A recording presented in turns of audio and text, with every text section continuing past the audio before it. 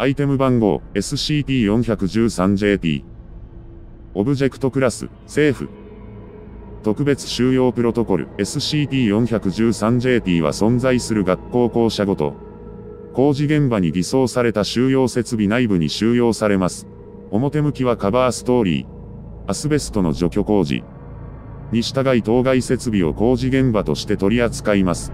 内部に存在する SCD-413JT に民間人が接触しないよう最低2人以上の警備員が割り当てられ、常時監視を行います。説明 SCD-413JT は、県、市、サイト81の小学高校舎内に存在する全12段の階段です。SCD-413JT は校舎の設計図では12段の階段であり、外観上も12段の階段として存在します。SCD-413JT の異常性は SCD-413JT を段を数えながら登ることで発現します。SCD-413JT を登る被験者。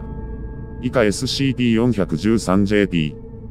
1、発行する位取り奇数法が急進法に変化することで13段の階段であると認識します。SCP-413JT。1から9という数字の概念が欠損し、SCP-413JT から離れても急進法により思考、計算を行うようになります。SCP-413JT。1は SCP-413JT との接触後、階段を見るたびに段を数えながら、往々にして発生しながら、登らなければならないという脅迫観念にとらわれます。さらに、階段を登るたびにその階段の最終段が13段となるように認識しているクライド力数法が変化します。階段の段数が13段未満であれば対応するクライド力数法に使用しない数字。例えば9進法ならば9という数字が数字であると認識できなくなります。ただし14段以上であれば SCP-413JT の効果は階段自体に作用し、階段が13段となるように作用します。14段以上であれば11や12などの10進法では2桁以上で表現する数字を本来存在しない新たな数字。以下 SCP-413JT。1、A を用いて表現するようになります。SCP-413JT。1、A を音声。あるいは文字によって認識した場合、認識者、以下 SCP-413JT、2、SCP-413JT、1、A、多数一進法で施行するようになります。SCP-413JT、2は階段に関する脅迫観念は持たず、階段を登ることで位取奇数法が変化することはありません。SCP-413JT、2の症状は B クラス記憶処理を行うことで回復します。SCP-413JT は非キリスト教圏出身者など13という数字に特別な意味を感じない人間には効果を与えません。ただし、SCP-413JT、1、A による効果は受けます。SCP-413JT、1、A は異なる SCP-413JT、1によって表現された場合でも、ある数に対して対応する同一の数字として表されます。SCD-413JT は存在している小学校の全国学力テストにおいて算数だけが異常に低い平均スコアであったことから存在が発覚しました。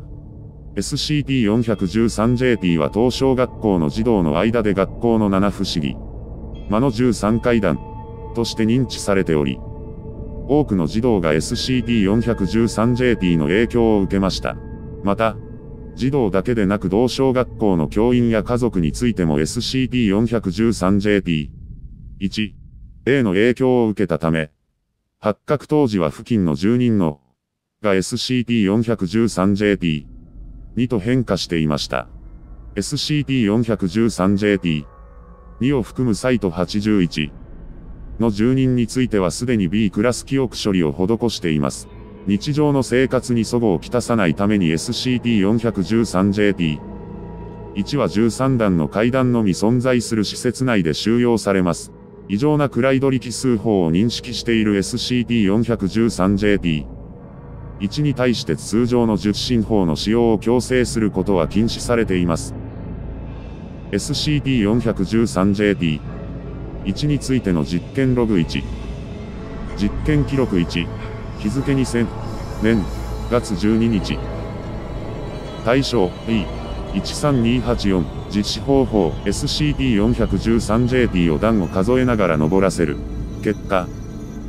1、234兆、5678億、1011万、1213。あれ、さっきまで1、2段だったよなこの階段。分析9段目を10段と数え、結果として最終段を13段と数えた。後ほど数を1から数えさせた結果9の概念が欠損していた。SCP-413JP を13階段として認識するために数の数え方が変化しているらしい。研究員。実験記録に、日付2000年月12日。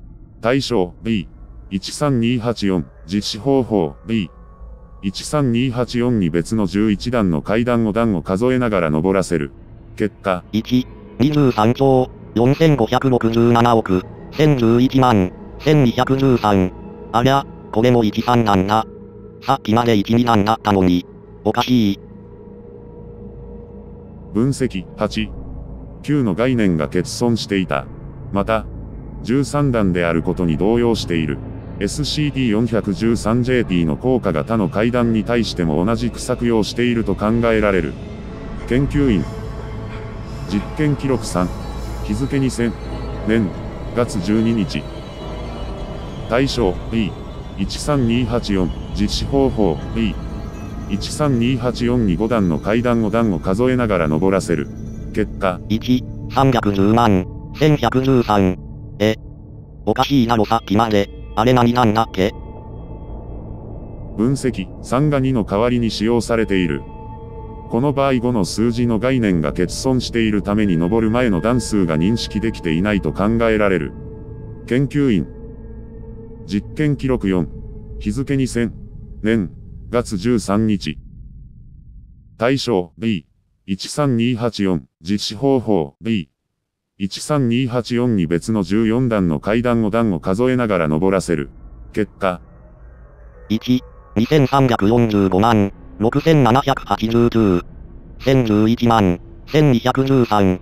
これも13段、どうなってんだ頭、がおかしくなったのか分析、数の数え方に異常は見られない。確認したが実際に13段になっていた。用意する階段を間違えたか研究員。実験記録後、日付2000年月13日。対象 B13284 実施方法別の18段の階段を段を数えながら登らせる。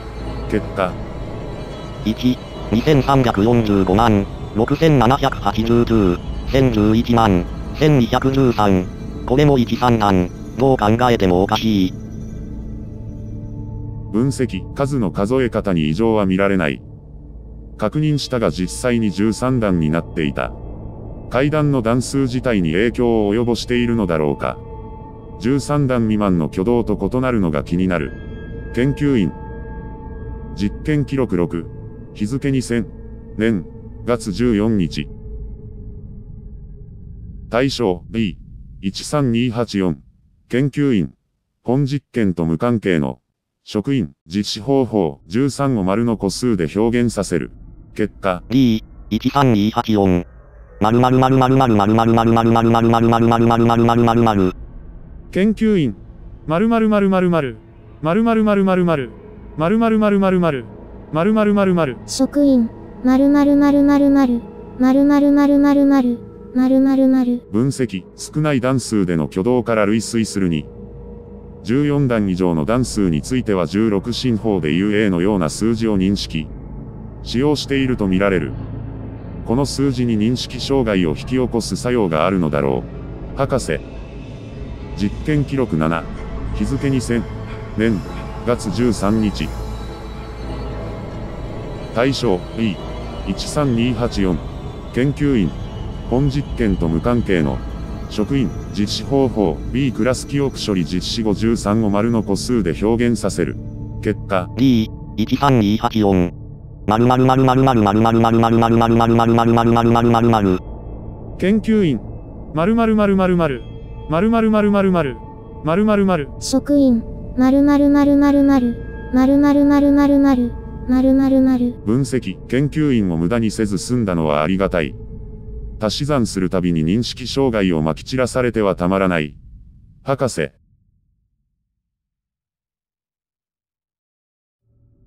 SCP-413JP。1についての実験ログに。実験記録8。日付2000年月17日。対象 B。13284実施方法100段の階段を B。13284に登らせる。結果 D、13284。どうしてこんなくっそ長い階段が13段なんだよ。おかしいだろ。分析 SCP-413JP。2。A は任意の数まで生成されるとみられる。いや、生成しているというよりも、もともと存在している数字を認識していると考えた方が自然なのかもしれない。博士。実験記録9。日付2000年月17日。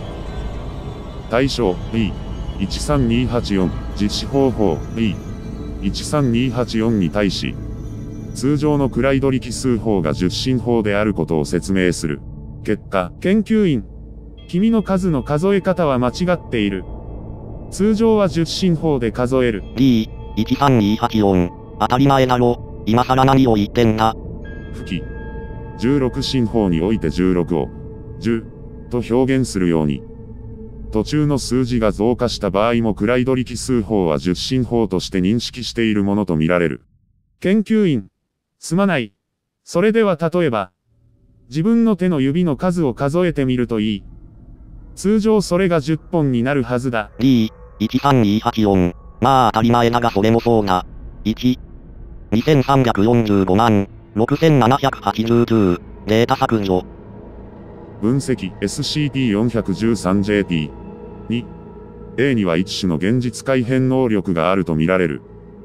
SCP-413JP そのものよりも本質的にはこちらが危険であると判断する。博士。